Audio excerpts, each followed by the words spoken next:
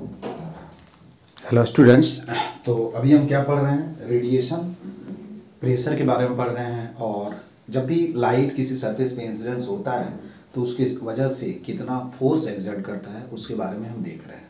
तो इसके पहले क्लास में हम लोगों ने दो केसेस देखे था। उसमें हमने ये देखा था कि क्या होगा सरफेस कैसा होगा परफेक्टली क्या होगा रिफ्लेक्टिंग होगा और परफेक्टली क्या होगा एब्जॉर्बिंग होगा। तो उस केस में रेडिएशन प्रेशर यदि नॉर्मल इंसिडेंस है तो कितना होता है? अभी आज मैं डायरेक्ट डायरेक्ट क्या कंसिडर कर अब्लिक इंसिडेंस तो हमने कल देखा था, इसके पहले क्लास में यदि परफेक्टली रिफ्लेक्टिंग सरफेस हो और लाइट क्या है सरफेस पे नॉर्मली इंसिडेंस होता है तो उस सिचुएशन में जो रेडिएशन प्रेशर होता है, वो टू आई अपॉन क्या है? सी होता है.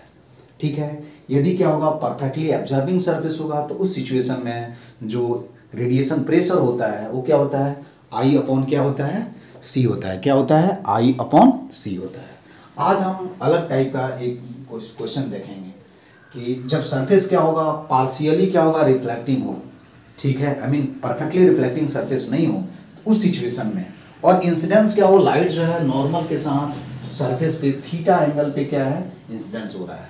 तो उस सिचुएशन में रेडिएशन प्रेशर हम कैसे कैलकुलेट करेंगे, उसके बारे में हम देखेंगे। ठीक है?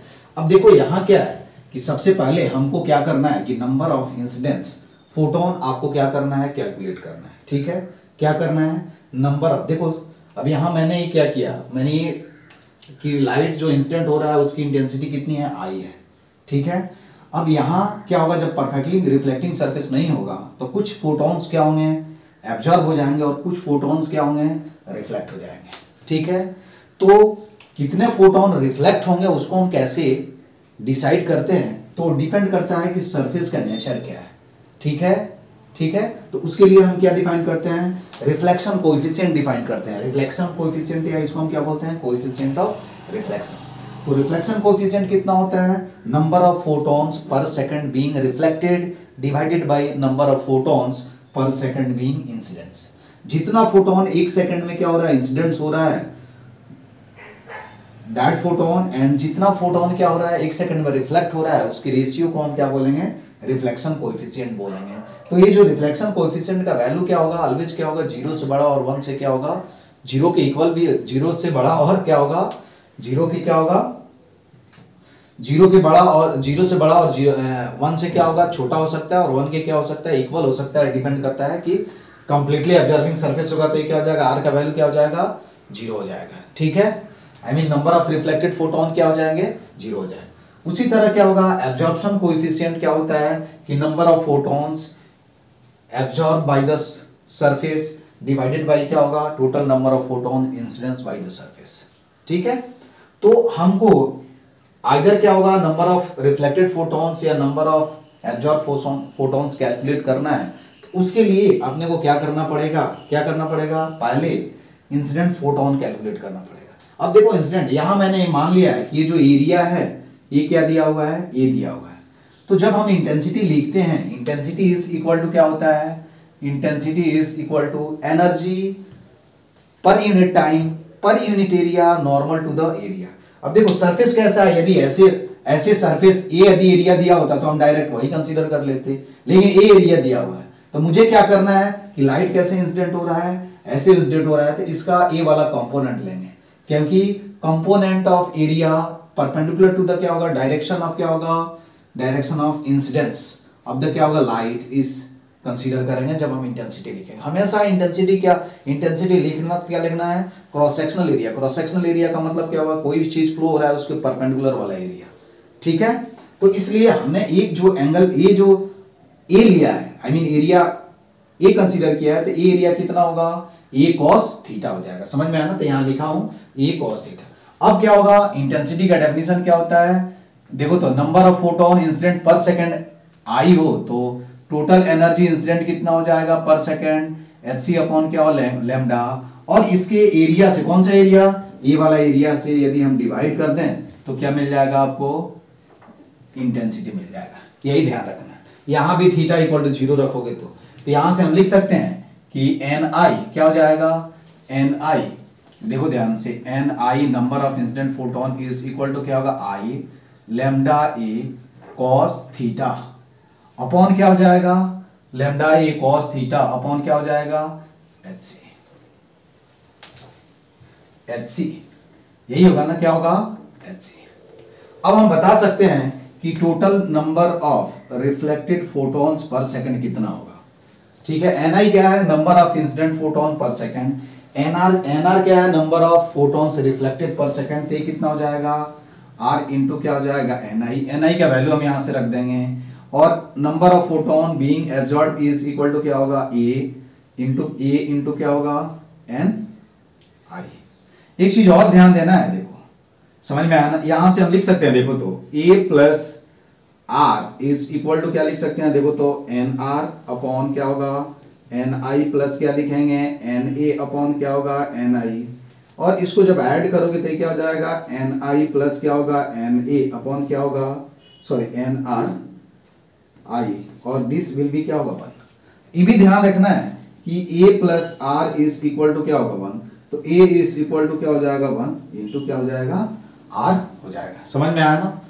तो यहाँ से आप ये भी लिख सकते हो, देखो। एन आर नंबर ऑफ़ क्या हो जाएगा? I I mean R I lambda ठीक है? ए क्या होगा? कॉस थीटा अपॉन क्या हो जाएगा? एच सी और क्या लिखोगे? एन ए जब लिखोगे तो क्या लिखोगे? वन माइनस आर इंटू क्या होगा? Lambda A one minus R I lambda A cos theta upon क्या हो जाएगा? एच सी हो जाएगा। इससे ये मालूम चल जाएगा कि नंबर ऑफ़ फोटॉन्स रिफ्लेक्ट हुआ और कितने नंबर ऑफ़ फोटोन रिफ्लेक्ट हुए और कितने नंबर ऑफ़ फोटॉन्स क्या हुए? एब्जॉर्ब हुए। इस फॉर्मूला से हम क्या कर सकते हैं? देख सकते हैं। ठीक है? अब ये ध्यान देना है, देखो, कि अब आपको ही मालूम है कि देखो, यहाँ क्या होगा? इसके मोमेंटम के दो कंपोनेंट होंगे। समझ में आना? एक मोमेंटम का क्या हो जाएगा? एच अपॉन क्या हो जाएगा? देखो लाइट ऐसे इंसिडेंट हो रहा है तो ये कौन सा कंपोनेंट होगा? ये बता सकते हो, ये वाला कौन सा कंपोनेंट होगा? इसका यदि ये थीटा है तो ये भी क्या हो जाएगा तुम्हारा? अरे ये थीटा हो जाएगा। तो ये वाला जो कंपोनेंट होगा, क्या हो जाएगा? इसके एक पैरल हो जाएगा। देखो, ये थीटा तो ये भी क्या हो जाएगा? थीटा हो जाएगा। तो इधर जो कंपोनेंट होगा, वो क्या हो जाएगा? एच एच अपॉन क्या होगा? लेमडा इंटू क्या हो जाएगा? कॉस थीटा और ए वाला जो कंपोनेंट होगा, वो क्या होगा? एच अपॉन लेमडा इंटू क्या होगा? कॉस थीटा ये कंपोनेंट क्या? मोमेंटम अरे मोमेंटम ऐसे ही इंसिडेंट हो रहा है ना। ठीक है? समझ में आया ना? क्या हो जाएगा? मोमेंटम ऐसे इंसिडेंट हो रहा है। ये तो मैंने बताया था। अब आपसे कोई पूछे कि नंबर ऑफ़ फोटॉन्स कि एब्जॉर्ब फोटॉन्स के द्वारा कितने फोर्स लग रहा है? है ना? तो नंबर ऑफ़ एब्जॉर्ब फोटॉन्स की वजह से, ठीक है? फोर्स पे प्लेट पे फोर्स कितना लगेगा ये भी आप कैलकुलेट कर सकते हो। क्या लिखोगे? Rate of change in linear momentum in क्या हो जाएगा? एब्जॉर्ब फोटॉन्स यही होगा ना यार? Rate of change in linear momentum in क्या हो जाएगा? Absorb photons is equal to क्या होगा? फोर्स और वहाँ से तुम प्रेशर भी लिख सकते हो। ठीक है? तो यहाँ से हम लिख सकते हैं कि क्या होगा? अब देखो मोमेंटम समझ में आना, एक फोटोन के साथ कितने मोमेंटम इंसिडेंट एसोसिएट होगा एच अपॉन क्या होगा? लेमडा तो यहाँ से हम ये भी लिख सकते हैं। क्या लिख सकते हैं? कि फोर्स क्या होगा? फोर्स फोर्स ऑन क्या होगा? प्लेट ड्यू टू क्या होगा? Due to absorb due to absorb photons ठीक है तो इसको लिखे एफ़ आर ये कितना हो जाएगा बता सकते हो तुम? डायरेक्ट मैं लिख रहा हूँ। ये फो, फो, ऐसे एब्जॉर्ब हो रहा है तो ऐसे ही लगेगा ना। F R is equal to क्या लिखेंगे यार? देखो तो क्या लिखेंगे? एन ए इंटू क्या होगा? चेंज इन मोमेंटम अब क्या होगा? वन फोटोन्स ठीक है? क्या होगा? वन फोटोन्स तो क्या लिखेंगे? एच अपॉन क्या लिखेंगे? लेमडा इंटू कॉस थीटा यही होगा। एफ़ आर ठीक है? एफ़ आर नहीं एफ़ ए लिखो। F A due to absorb photons यहाँ से वैल्यू रख दो तो देखो क्या मिला? वन माइनस आर इंटू क्या मिल जाएगा? H upon lambda lambda lambda cancel हो जाएगा तो क्या हो जाएगा? सी आई इंटू क्या हो जाएगा? कॉस स्क्वायर थीटा बात समझ में आया? क्या हो जाएगा? कॉस स्क्वायर थीटा और दूसरा कुछ नहीं। ये हम कौन सा कंपोनेंट लिए हैं यार? ये नॉर्मल कंपोनेंट याद रखना। सरफेस पे जो नॉर्मल रहेगा, वो वाला कंपोनेंट लिए है। तभी तो हमने यह क्या किया है? ये कॉस थीटा मैंने क्यों यूज़ किया है? कि देखो, ये मोमेंटम क्या हो जाएगा? साइन हो जाएगा कॉस होगा। यहाँ साइन होगा सॉरी ये साइन थीटा होगा। तो इसकी वजह से क्या, जब एब्जॉर्ब होगा तो यही मोमेंटम रहेगा ना, ये हमने लिया है नॉर्मल अब यहाँ से भी इसके वजह से कभी कभी पूछा जाएगा कि कितना क्या हो जाएगा, कितना आपसे पूछा है कितना फोर्स लगेगा तो इसलिए मैंने बता दिया है कि force on the plate due to क्या होगा एब्जॉर्ब फोटोन कितना हो जाएगा one minus R upon C into क्या होगा आई कॉस स्क्वायर थीटा यहाँ आप क्या करो थीटा ज़ीरो रख दो आर इक्वल टू क्या हो जाएगा? यदि कंप्लीटली एब्जॉर्बिंग सरफेस हो जाएगा तो आर इक्वल टू क्या हो जाएगा? ज़ीरो हो जाएगा। तो I upon C answer I upon C into A होगा यार यहाँ ए सॉरी ए भी होगा, ठीक है? समझ में आया ना? अब यहाँ इसके बाद आपसे कोई पूछे कि आपसे ये पूछा जाएगा कि फोर्स ड्यू टू क्या होगा? अब यहाँ लिख देंगे क्या होगा फोर्स नॉर्मल फोर्स सिंपल लिख रहे हैं ना? नॉर्मल फोर्स हम लिख रहे हैं। नॉर्मल फोर्स क्या होगा? ऑन ये भी नॉर्मल फोर्स है, याद रख। नॉर्मल फोर्स ऑन द क्या होगा? On the surface due to क्या होगा? Due to due to change in या ड्यू टू क्या लिखेंगे? Reflected photon simple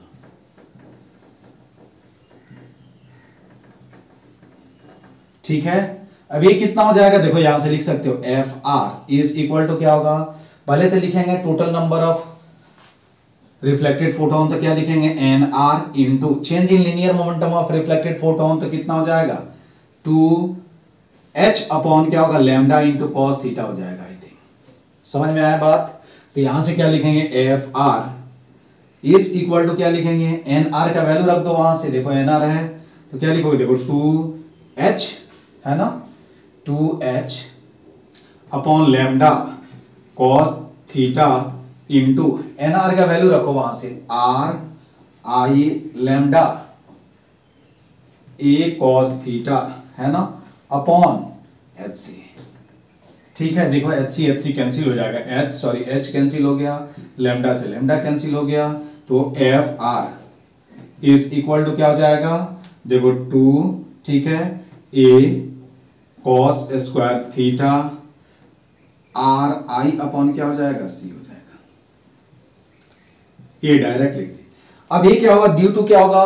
reflected photons और दिस इज़ क्या होगा? Force on the plate due to क्या होगा? एब्जॉर्ब फोटॉन्स तो नेट फोर्स कितना होगा? कौन सा फोर्स है यार? परपेंडिकुलर वाला, ये वाला। इस पे सरफेस पे परपेंडिकुलर लग रहा है। समझ में आया ना? तब हम क्या लिख सकते हैं? नेट फोर्स नेट फोर्स जो हम लिखेंगे क्योंकि देखो जो पैरल के सरफेस के पैरल होगा, उसकी वजह से कोई फोर्स नहीं लगेगा समझ में आया ना? सरफेस के पैरल ऐसे इसके पैरल लग रहा है तो इस पे क्या फोर्स लग रहा है? कुछ फोर्स नहीं लगेगा तो हम क्या लिखेंगे? Normal force normal force net normal force लिखेंगे क्या? नेट नेट फोर्स है ना?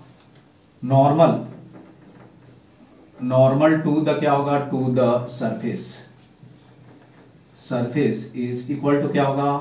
एफ़ आर प्लस क्या हो जाएगा? एफ़ ए ठीक है? तो F net is equal to क्या हो जाएगा? दोनों को ऐड कर दो। तो देखो, दोनों को ऐड करोगे तो क्या मिलेगा तुमको? यहाँ से दिख रहा है। One plus one plus R into क्या होगा? I upon C cos square क्या हो गया? थीटा इंटू क्या हो गया? ए बात समझ में आया? अब तुमसे कोई पी रेडिएशन पूछे। तो रेडिएशन प्रेशर कितना होगा इस केस में? P radiation is equal to क्या होगा? एफ़ नेट एक फॉर्मूला यही याद रखो। अपॉन क्या होगा? एरिया है ना? एफ़ नेट अपॉन क्या होगा? एरिया तो यहाँ से वैल्यू रख दोगे तो देखो क्या हो जाएगा? वन प्लस आर, ठीक है? I cos square theta upon क्या हो जाएगा? सी ये इंपॉर्टेंट रिज़ल्ट है। एक फॉर्मूला याद रखो, सारे प्रॉब्लम सॉल्व हो जाएँगे। ठीक है? क्या हो जाएगा? सारे प्रॉब्लम क्या हो जाएगा? सॉल्व हो जाएगा। ये भी, भी अब देखो क्या होगा यदि परफेक्टली रिफ्लेक्टिंग सरफेस होगा यहाँ से देखो फॉर क्या होगा फॉर परफेक्टली रिफ्लेक्टिंग सरफेस ठीक है?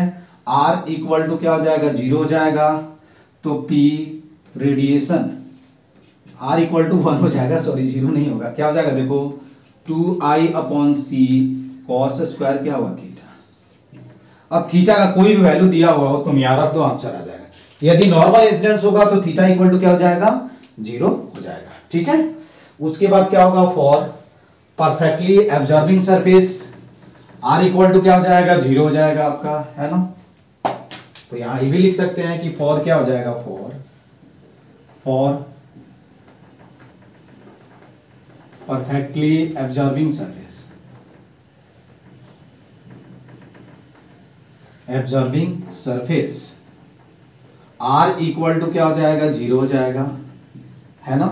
तो यहाँ से लिख सकते हैं P radiation is equal to क्या हो जाएगा? आर ज़ीरो कर दो तो I cos square theta upon क्या हो जाएगा? सी हो जाएगा। उसके बाद तुमको जो वैल्यू फाइंड आउट करना है, तुम आसानी से क्या कर सकते हो? वैल्यू फाइंड आउट कर सकते हो, ठीक है?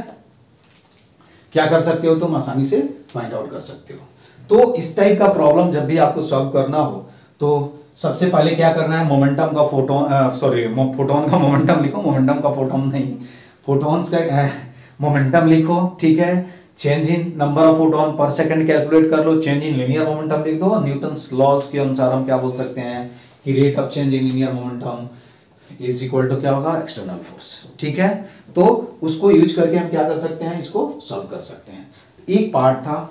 आप लोग एच सी वर्मा भी क्वेश्चंस दिया हुआ है तो इस पे आप प्रैक्टिस कर लेना क्योंकि पूछा जाता है। Even H C Verma photo electric effect के एच सी वर्मा का ही क्वेश्चन कर दो। अच्छे अच्छे क्वेश्चन दिए हुए हैं। ज़्यादा यदि कम टाइम है तो हम एच सी वर्मा का न्यूमेरिकल कर कर जाएँगे। बहुत अच्छे अच्छे क्वेश्चन दिए हुए हैं उसमें, है ना? तो उसको ही तुम सॉल्व कर जाओ। तो ये रेडिएशन प्रेशर में बस इतना ही है है ना? इससे ज़्यादा कुछ नहीं है। एक आप इसको क्या करना, खुद से अब इसके बाद ट्राई कर लेना तुम लोग। एक और क्वेश्चंस मैं आपको बताता, लेकिन अभी हम उसके बारे में देखेंगे बाद में। हम आते हैं कहाँ फ़ोटो इलेक्ट्रिक इफ़ेक्ट ठीक है? जो इम्पोर्टेंट पॉइंट है। फ़ोटो इलेक्ट्रिक इफ़ेक्ट होता क्या है ना? Photo electric effect photo electric electric effect of क्या होगा? लाइट ठीक है, इसको हम क्या बोलते हैं? पीई फ़ोटो इलेक्ट्रिक इफ़ेक्ट ठीक है? अब देखो क्या होता है। फ़ोटो इलेक्ट्रिक इफ़ेक्ट में क्या होगा कि जब भी क्या होगा, किसी भी मेटल सरफेस पे, है ना? Light of sufficiently small wavelength ऐसा मैं क्यों बोल रहा हूँ? वो मैं आपको बता रहा हूँ। जब इंसिडेंट होता है किसी भी मेटल सरफेस पे, कोई भी लाइट जिसका वेवलेंथ छोटा हो, बहुत ही छोटा हो, है ना? यदि इंसिडेंट होता है तो क्या करता है कि मेटल सरफेस पे आई मीन मेटल के अंदर जो इलेक्ट्रॉन्स हैं, उनसे क्या होता है? कोलाइड होता है। अभी भी ध्यान रखना है कि कोलिजन में क्या होता है। कोलिजन में क्या होगा कि मोमेंटम एंड एनर्जी जो होता है, वो क्या होता है? कंजर्व होता है। तो क्या होगा? मोमेंटम एंड एनर्जी क्या होगा? कंजर्व होता है। लेकिन क्या होगा? फोटॉन्स का क्या होगा? क्रिएशन भी होगा और एब्जॉर्प्शन भी होगा। ठीक है? आई मीन फोटॉन्स क्या होगा ऑब्ज़र्व भी कर लिया एब्जॉर्व भी कर लिया जाएगा और क्रिएट भी किया जाएगा। तो नंबर ऑफ़ फोटोन जो होता है, वहाँ क्या होता है? कंजर्व नहीं होता है। बट ड्यूरिंग क्या होगा? Emission I mean photo electric effect में आपसे कोई पूछे कि एनर्जी कंजर्व होता है क्या? तो ऑब्वियसली क्या होगा? एनर्जी एंड मोमेंटम जो फोटोन्स का होगा, वो क्या होगा? कंजर्व होगा। ठीक है? तो जब क्या होगा? कोई भी सरफेस है, जैसे मान लो कि क्या है? मेटल सरफेस है। तो उसमें लार्ज नंबर ऑफ़ क्या है? फ्री इलेक्ट्रॉन्स हैं। तो जब लाइट क्या होगा? इंसिडेंस होगा। तो लाइट क्या है? फोटॉन्स है। तो लाइट जब इंसिडेंट होगा तो फोटॉन्स होंगे क्या होंगे? इलेक्ट्रॉन से क्या करेंगे? इंटरेक्ट करेंगे। आई I मीन mean, क्या करेंगे? कोलाइड होंगे। तो ये भी ध्यान रखना है कि एक फोटॉन्स जो है क्या है? एक ही इलेक्ट्रॉन से क्या होगा? कोलाइड होगा। ऐसे नहीं है कि एक फोटोन जो है वो मोर देन या I mean N number of photons एक इलेक्ट्रॉन से क्या होगा? कोलाइड होगा। ऐसा नहीं होगा। समझ में आया ना? ड्यूरिंग क्या होगा interaction only one photons will collide क्या होगा? One photon will collide with क्या होगा? ओनली वन इलेक्ट्रॉन अब जब कोलिजन होगा तो फोटोन, एक फोटोन के पास एनर्जी कितनी है वो आपको मालूम है एच सी अपॉन क्या होगा लेमडा तो एनर्जी क्या करेगा? इंपार्ट कर देगा। क्या करेगा? एनर्जी इंपार्ट कर देगा। अब इसके पास यदि सफिशियंट एनर्जी होगा तो ये क्या करेगा? मेटल से क्या हो जाएगा? स्किप हो जाएगा। समझ में आया ना? मेटल से क्या हो जाएगा? स्किप हो जाएगा। तो इस फेनोमेनन को हम क्या बोलते हैं? इस फेनोमेनन को हम क्या बोलते हैं? फ़ोटो इफ़ेक्ट बोलते हैं। क्या बोलते हैं? फ़ोटो इफ़ेक्ट आई मीन क्या होगा कि कि emission of electron from a metal surface when a sufficiently small when a light of sufficiently small wavelength incident upon it is called photo electric effect I mean photo electric effect में क्या है? Light energy को use करके हम क्या करते हैं? क्या करते हैं? इलेक्ट्रॉन को एमिट कराते हैं। क्या करते हैं हम? इलेक्ट्रॉन को एमिट कराते हैं। ठीक है? तो जैसे देख लो, ये क्या है? यही क्या है? कोई मेटल सरफेस मेटल है? ये मेटल दिया हुआ है ठीक है? मेटल इसमें क्या है? देखो ये लार्ज नंबर ऑफ़ क्या है? इलेक्ट्रॉन्स है, है ना यार? इलेक्ट्रॉन्स कोई ज़रूरी नहीं है कि फ़ोटो इलेक्ट्रिक इफ़ेक्ट जो होता है केवल सरफेस फेनोमेनन होता है। नहीं ऐसा कोई ज़रूरी नहीं ये सब क्या है? लार्ज नंबर ऑफ़ क्या है? इलेक्ट्रॉन्स हैं। और ऑफकोर्स क्या होगा? इसमें मेटल्स भी होगा क्योंकि सॉरी एटम मेटल जो बनाया जाता है वो कई एटम्स को मिल करके क्या होता है? बनाया जाता है। तो जब क्या होगा कि मेटल है और ये क्या है, हमने इसको इलेक्ट्रॉन मान लिया ठीक है? यही समझना है, ये इलेक्ट्रॉन है। तो जब क्या होगा कि लाइट इस पे फॉल होगा, यहाँ भी इलेक्ट्रॉन हो सकता है सरफेस पे, है ना? ऐसा कोई ज़रूरी नहीं है। सरफेस पे क्या होगा?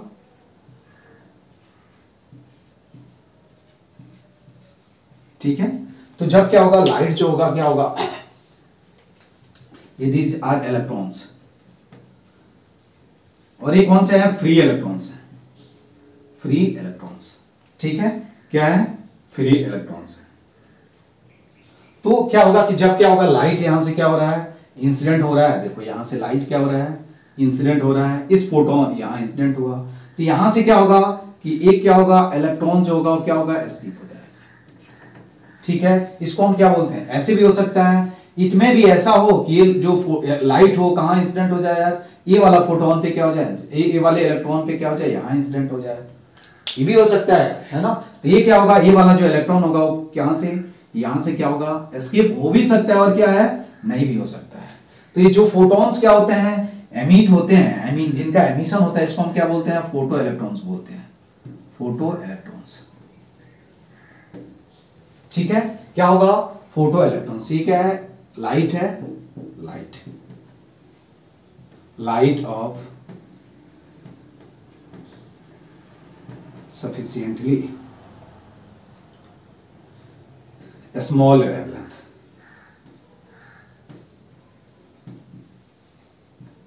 ठीक है? तो ये क्या होगा? इलेक्ट्रॉन का क्या होता है? एमिशन होता है। इसी प्रोसेस को हम क्या बोलते हैं? फ़ोटो इलेक्ट्रिक इफ़ेक्ट बोलते हैं। क्या बोलते हैं? फ़ोटो इलेक्ट्रिक इफ़ेक्ट बोलते हैं। समझ में आया ना? फ़ोटो इलेक्ट्रिक इफ़ेक्ट तो क्या होगा? यहाँ से लिख सकते हैं कि फ़ोटो इलेक्ट्रिक क्या होगा कि वेन फ़ोटो इलेक्ट्रिक इफ़ेक्ट का डेफिनेशन लिख लेते हैं कि when a light of sufficiently a small wavelength wavelength incidence incidence on ये क्या होगा on a metal surface metal surface metal surface electrons electrons are ejected or emitted ejected from the क्या होगा from the surface this phenomenon this phenomenon is called is called is called photoelectric effect this phenomenon is called photo photoelectric effect and the क्या होगा the ejected ele electron and the क्या होगा the ejected ejected electron electrons are called are called photoelectrons photo electrons इसको हम क्या बोलते हैं? जो इलेक्ट्रॉन्स इजेक्ट हो रहा है क्या, उसको हम क्या बोलते हैं? फ़ोटो इलेक्ट्रॉन्स बोलते अब देखो क्या होता है कि कोई ज़रूरी नहीं है कि लाइट जो है किसी भी सरफेस पे क्या होगा इंसिडेंस होगा तो हमेशा फ़ोटो इलेक्ट्रिक इफ़ेक्ट होगा। ऐसा नहीं होगा। इसलिए मैंने यहाँ बताया है कि सफिशियंटली क्या होना चाहिए? स्मॉल वेवलेंथ जिसको हम क्या बोलते हैं? बाद में हम पढ़ेंगे। इसमें कट ऑफ़ वेवलेंथ भी कुछ बोलते हैं कि कट ऑफ़ वेवलेंथ से यदि क्या होगा? वैल्यू क्या होगा? इसका कम होगा wavelength I mean incident light का, तभी क्या होगा? फ़ोटो इलेक्ट्रिक इफ़ेक्ट होगा अदरवाइज़ फ़ोटो इलेक्ट्रिक इफ़ेक्ट नहीं होगा।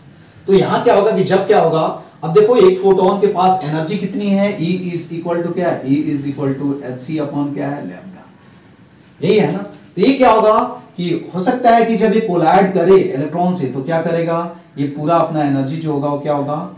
उसको गिव अप कर देगा। ये भी हो सकता है कि इतना एनर्जी लेने के बाद, अब ये देखो सरफेस वाला जो इलेक्ट्रॉन होगा, वो तो आसानी से क्या हो जाएगा? एस्केप कर जाएगा, क्योंकि वो अदर मैटर एटम से कोलाइड नहीं होगा। समझ में आया ना? लेकिन ऐसे भी हो सकता है कि क्या होगा? कि ये जो क्या है, इसके मेटल ये वाला जो इलेक्ट्रॉन है, ये स्केप करना चाहे तो हो सकता है कि ये क्या होगा? कई इलेक्ट्रॉन से कई एटम से क्या होगा? कोलाइड होगा। और ये जो एनर्जी मिला है क्या हुआ? कम होते होते कम हो गया, है ना? तो ये क्या होता है? सबसे पहले यहाँ किसी भी सरफेस से क्या होगा? किसी भी मेटल सरफेस से इलेक्ट्रॉन इजेक्ट होगा या नहीं होगा, वो हम कैसे डिसाइड करते हैं? तो एक वर्क फ़ंक्शन होता है। वर्क फ़ंक्शन किसी भी क्या होता है? किसी भी मेटल्स का क्या है? प्रॉपर्टी होता है, ठीक है? इसको मेटल भी बोलते हैं और इसको एमीटर भी बोलते हैं। हम क्या बोलते हैं इसको? एमीटर भी बोलते हैं एमीटर प्लेट भी बोलते हैं। आगे हम पढ़ेंगे, ठीक है? समझ में आना तो वर्क फ़ंक्शन पे क्या होता है? डिसाइड होता है।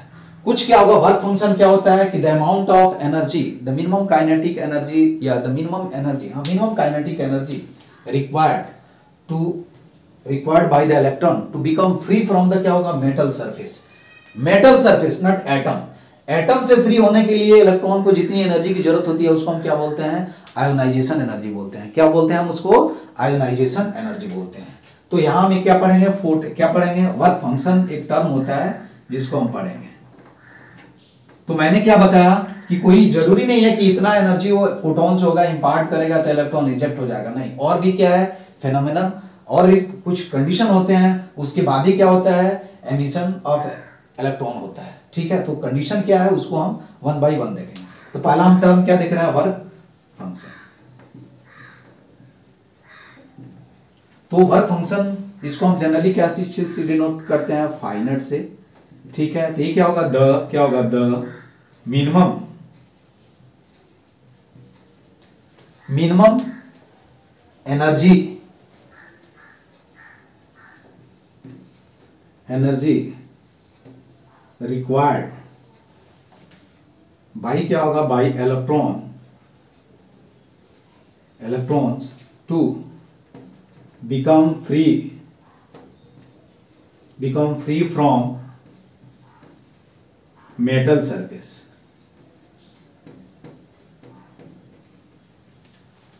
is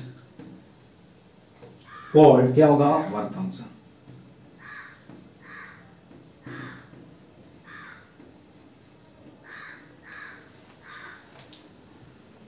समझ में आया ना? इसको हम क्या बोलते हैं? वर्क फ़ंक्शन बोलते हैं। अब मैं बता रहा हूँ कि जो एनर्जी होगा, ये कहाँ कहाँ लॉस होता है? ठीक है? अब देखो कहना समझ में आया ना? इसको हम क्या बोलते हैं? वर्क फ़ंक्शन बोलते हैं। समझ में आया ना? तो वर्क फ़ंक्शन जो होता है, ये भी याद रखना है, इसको हम क्या बोलते हैं? Work function. वर्क फ़ंक्शन जो होता है, वर्क फ़ंक्शन, क्या होगा? Work function. क्या होगा? वनली ये बहुत इंपॉर्टेंट पॉइंट है वनली डिपेंड डिपेंड ऑन क्या होगा? मेटल नेचर ऑफ़ क्या होगा? नेचर ऑफ़ मेटल और इसी को हम क्या बोलते हैं? नेचर ऑफ़ क्या होगा? नेचर ऑफ़ एमीटर प्लेट याद रखना है। नेचर ऑफ़ क्या होगा? एमीटर एमीटर और, इसको हम क्या बोलेंगे? कैथोड एमीटर और क्या बोलेंगे? कैथोड प्लेट आगे हम पढ़ेंगे जब फ़ोटो इलेक्ट्रिक एक्सपेरिमेंटली पढ़ेंगे तो वहाँ ये चीज़ यूज़ करेंगे। तो ये आपका क्या है? किसके? नेचर पे डिपेंड करेगा कि इस मेटल का? नेचर क्या है? आई मीन कौन से एलिमेंट से मिलकर, कौन सा मेटल है? ठीक है? उसके नेचर पे क्या होगा? डिपेंड करेगा। क्या होगा? उस पर डिपेंड करेगा। जनरली क्या होता है? वर्क फ़ंक्शन का जो वैल्यू होता है, वो इलेक्ट्रॉन वोल्ट में हम क्या करते हैं? लिखते हैं। ठीक है? क्या होगा? इलेक्ट्रॉन वोल्ट में हम क्या करते हैं? लिखते हैं। द वैल्यू ऑफ़ तो अगला पॉइंट क्या लिख लोगे? कि वर्क फ़ंक्शन क्या होगा? हाँ वर्क फ़ंक्शन हमेशा याद रखना है कि does not depend on the क्या होगा? इंटेंसिटी ऑफ़ इंसिडेंट लाइट यदि इस लाइट की इंटेंसिटी आई है तो उससे क्या होगा वो? इनडिपेंडेंट होगा। तो यहाँ लिख लेना है work function work function does not does not depend on the क्या होगा? On the intensity intensity of intensity of incident intensity as well as ये भी लिख लो as well as intensity as well as wavelength wavelength of क्या होगा? Incident light ये कभी उस पर डिपेंड नहीं करेगा। किस पे डिपेंड करेगा? केवल। क्या होगा? केवल क्या चीज़ में?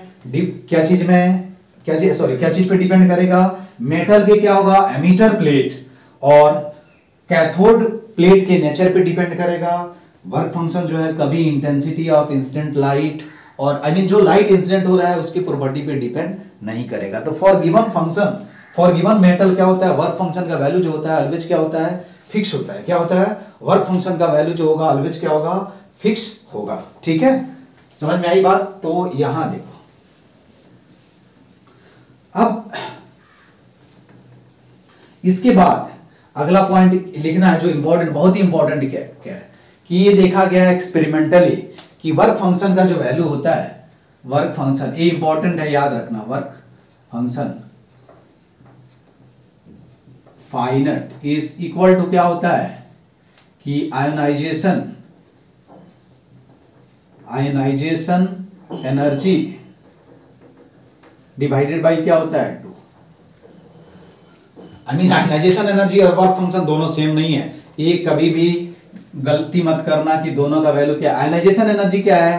किसी भी इलेक्ट्रॉन को एटम से फ्री करने के लिए मिनिमम एनर्जी जितनी देनी पड़ती है, उसको हम क्या बोलते हैं? आयोनाइजेशन एनर्जी बोलते हैं। यहाँ क्या है कि minimum energy required by the क्या होगा? Electron to become free from the metal surface not from the atom atom से नहीं मेटल सरफेस से फ्री होने के लिए उसको जितने एनर्जी की ज़रूरत होती है, उसको हम क्या बोलते हैं? आयोनाइजेशन एनर्जी बोलते हैं, ठीक है? सॉरी वर्क फ़ंक्शन बोलते हैं। और एटम से फ्री करने के लिए जितनी एनर्जी की ज़रूरत होगी, उसको हम क्या बोलते हैं? आयोनाइजेशन एनर्जी बोलते हैं। तो क्या होगा? Work function is equal to क्या होगा? हाफ़ ऑफ़ आयोनाइजेशन एनर्जी कभी कभी क्या होगा तो phi naught is equal to क्या होगा? आयोनाइजेशन एनर्जी डिवाइडेड बाई क्या होगा? टू ठीक है? क्या होगा? आयोनाइजेशन एनर्जी क्या होगा? डिवाइडेड बाई टू तो अब क्या होगा देखो क्या होगा कि जब क्या होगा? फोटॉन्स क्या होगा? वेन लाइट यहाँ लिखेंगे अब कुछ पॉइंट लिख लेते हैं ठीक है? अब देखो क्या होगा। कुछ क्या होगा? ऐसे बोलो कि जब ए, क्या होगा? फोटोन इलेक्ट्रॉन से कोलाइड होगा। तो इलेक्ट्रॉन को कितना एनर्जी इंपार्ट करेगा? हो सकता है एनर्जी इंपार्ट भी नहीं करे, लेकिन अभी हम मान रहे हैं कि एनर्जी कितना एच सी अपॉन लैमडा अब इस एनर्जी का यूज़ जो होगा, कई पार्ट में होगा। एक तो क्या होगा कि इलेक्ट्रॉन यदि क्या है, नीचे है, अंदर है तो कुछ पार्ट ऑफ़ एनर्जी क्या हो जाएगा? एक क्या होगा कि यहाँ से ऊपर शिफ्ट होने में क्या होगा? आई मीन सरफेस पे आने में क्या होगा? कुछ एनर्जी खर्च होगा, जिसको हम क्या बोलेंगे? वर्क फ़ंक्शन बोलेंगे। तो कुछ एनर्जी जो होगा वो क्या होगा? इसमें से कुछ एनर्जी क्या होगा? वर्क फ़ंक्शन के रूप में क्या हो जाएगा? खर्च हो जाएगा। और स्पेंड हो जाएगा। कुछ एनर्जी क्या होगा कि हो सकता है, मैंने एक कंडीशन तब किया कि यहाँ से क्या है? डायरेक्ट कहीं कोलिजन नहीं हुआ एटम वगैरह से। लेकिन ये भी पॉसिबल है कि क्या होगा? जो अंदर जो इलेक्ट्रॉन होगा इट में कोलाइट विद क्या होगा? Atoms and and during collision it will lose some amount of energy अब वो एनर्जी कहाँ से देखो? जब यहाँ कहा हो जाएगा जब एनर्जी और कुछ लॉस कर देगा तो उसकी एनर्जी कितना हो जाएगी? ई e माइनस क्या होगा? फाइनट माइनस क्या हो जाएगा? सम सम एनर्जी और वही एनर्जी क्या होगा? Kinetic energy of the photo electrons होगा क्या? From the conservation of energy अरे क्या हुआ? कि जितना एनर्जी इंसिडेंट हुआ आई I मीन mean, जितना एनर्जी क्या हुआ? इंपार्ट हुआ। उसमें से कुछ एनर्जी क्या होगा? वर्क फ़ंक्शन के टर्म में के फॉर्म में चला जाएगा। कुछ एनर्जी क्या होगा? किसके फॉर्म में? ड्यूरिंग कोलिजन क्या होगा? हीट के फॉर्म में लॉस हो जाएगा। ठीक है? तो टोटल एनर्जी क्या होगा? उसका काइनेटिक एनर्जी फ़ोटो इलेक्ट्रॉन्स का क्या होगा? क्या होगा? Energy incident minus phi naught minus क्या हो जाएगा? जितना एनर्जी क्या होगा? कोलिजन में लॉस हुआ। ये बात समझ में आई? तो हम ये लिख सकते हैं। इसी को क्या बोलते हैं? आइंस्टाइन फ़ोटो इलेक्ट्रिक इफ़ेक्ट हम बोलते हैं। क्या बोलते हैं? Einstein photo electric effect sorry photo electric equation बोलते हैं। आइंस्टीन ने एक्सपेरिमेंट किया और उन्होंने रिलेशन फिगर आउट किया। तो यहाँ से हम क्या लिखेंगे? इस ये बात समझ में आया? तो अब हम क्या लिखेंगे यहाँ? कि क्या होगा कि वेन वेन क्या होगा? वेन वेन लाइट कुछ पॉइंट लिख देता हूँ। When light incidence incidence on क्या होगा? On metal surface metal surface ठीक है? इलेक्ट्रॉन क्या होगा मेटल सरफेस फोटोन क्या होगा? फोटोन विल क्या होगा? विल कोलाइड कोलाइड विथ क्या होगा? इलेक्ट्रॉन ये याद रखना कि एक फोटोन एक इलेक्ट्रॉन के साथ ही कोलाइड होगा। Photon will collide with electron and give up its energy energy, ठीक है, H C upon lambda to electron. ठीक है? कितना एनर्जी वो इंपार्ट कर देगा? एच सी अपॉन क्या हो जाएगा? लेमडा। अब ये एनर्जी जो होगा, वो दो पार्ट में क्या होगा? यूज़ होगा। हमको क्या करना है कि यहाँ, अरे, इलेक्ट्रॉन जब मेटल सरफेस से निकलेगा तो उसके पास काइनेटिक एनर्जी होगी, तभी तो बाहर आएगा यार। नहीं तो ये तो क्या होगा फ्री जस्ट हो जाएगा तो काइनेटिक एनर्जी ज़ीरो होगा, इसके सरफेस पे घूमता रहेगा। तो उसको हम इस एक्शन थोड़ी बोलेंगे। तो यहाँ क्या होगा, ये जो एनर्जी इंपार्ट करेगा, उसका उस, वो क्या होगा, कुछ पार्ट में क्या होगा यूज़ होगा। तो हम क्या लिखेंगे? यहाँ से, देखो ध्यान से, हम क्या लिखेंगे? सम पार्ट ऑफ़ एनर्जी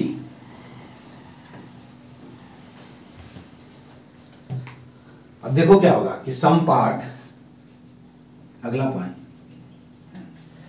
क्या होगा? तो when light incident on metal surface photon will collide with क्या होगा? Electron and give up its energy H C upon lambda to electron now now electron क्या होगा? Electron will use energy H C upon क्या होगा? H C upon lambda in following in following following way और following वे में क्या क्या होगा, ये मैं बता देता हूँ। अब देखो क्या होगा। पहला क्या होगा कि some amount of energy is being used as a function of क्या होगा एज वर्क फ़ंक्शन तो हम क्या लिखेंगे? इसी में से। तो सम क्या होगा? Some energy is used as work function अब क्या होगा? वर्क फ़ंक्शन वर्क फ़ंक्शन अब क्या होगा? Work function phi naught of metal ठीक है? सेकंड क्या होगा? कि सम इफ़ क्या होगा? अब इफ़ इफ़ तो यहाँ से इफ़ क्या होगा? इफ़ इलेक्ट्रॉन इलेक्ट्रॉन में कोलाइड कोलाइड विथ क्या होगा? With atoms atoms present in क्या होगा? प्रेजेंट इन क्या होगा? मेटल्स। देन क्या होगा? Then some amount some of energy some energy energy from, क्या होगा? From. H C upon lambda में use in the form of क्या होगा? इन द फॉर्म ऑफ़ क्या होगा? हीट ठीक है? और क्या होगा? रिमेनिंग जो एनर्जी होगा some amount of energy being used in the form of क्या होगा? अब देखो क्या लिखेंगे। क्या होगा? Some of energy some energy from क्या होगा? सम एनर्जी एनर्जी फ्रॉम क्या होगा? फ्रॉम सम एनर्जी फ्रॉम क्या होगा? Some energy from H C upon lambda में.